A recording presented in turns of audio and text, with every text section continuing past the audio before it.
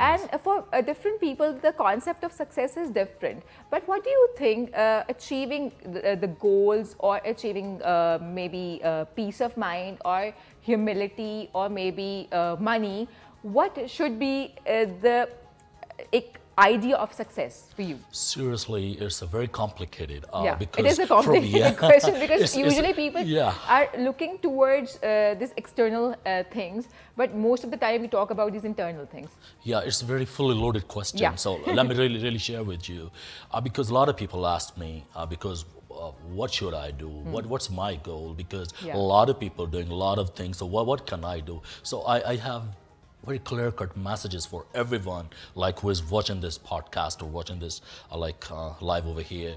So i just ask people what one thing is hurting you? Or what one thing like has been hurting you in your life and now you, you've been suffering from it and now you don't want people to suffer from it?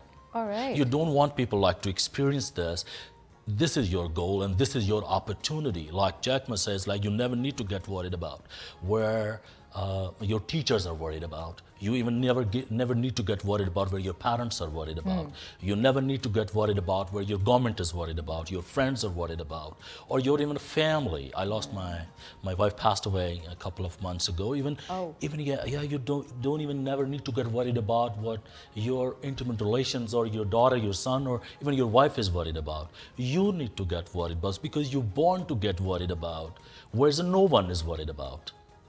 And you need to put all your sense into it. Mm. And that would help you a lot really to get something out of your life because life is a mission. And this we is are a different perspective which I've heard today. Yeah. Because thinking about something which has damages you, you don't want it to damage some other person. Exactly. That should be your goal. Exactly. And I personally feel your success is not about you. Mm. Your success is not about like one folk or, or, with one group of people. No, your success is about the people. You're born to make other people successful. It means success is not personal. And this should be the quality of a leader, I guess. Exactly. I mean, if, if this is what we are. This is what we are bringing selflessness into hmm. it, right? It's a selflessness. You know. Uh, so so so you you got to be worried about people. If you are worried about one thing and then you put all your sense into it, it's definitely uh, every morning like it's going to wake you up. So I personally feel your success is not about you and mm. success is very much impersonal. And if success is impersonal, it means uh, your dream is not personal.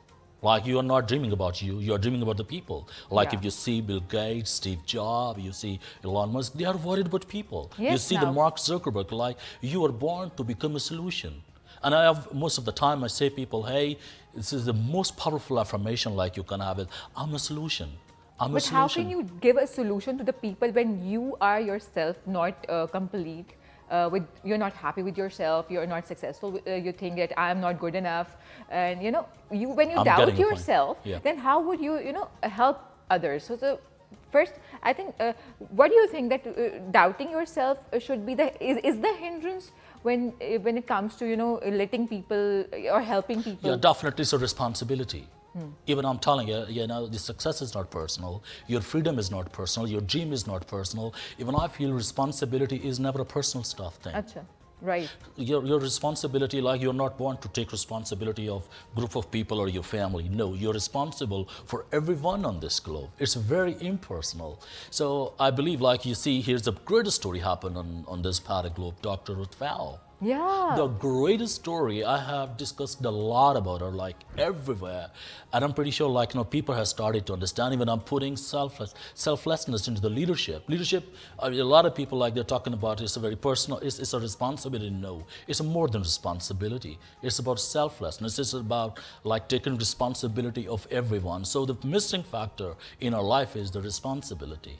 Mm. And what we can inculcate and what can we install into, into the people's life while they're going to the school. I trained uh, uh, 10 million people all over the globe, children, because that was my startup. And I feel like uh, they're the most valuable people because um, uh, they, they're going to create the future. Yes. They are our future. And the future. so we definitely, I have, I've created so many courses for the young kids. If all someone, right. yeah, if someone comes, uh, like, uh, if, if a kid like can speak English, understand English, and the age is around 13 years, so if someone, some ch children like uh, if they come to my course and they attend like just six months course, I can make sure they can work like Steve Jobs, they can work like Mark Zuckerberg, they can think like this.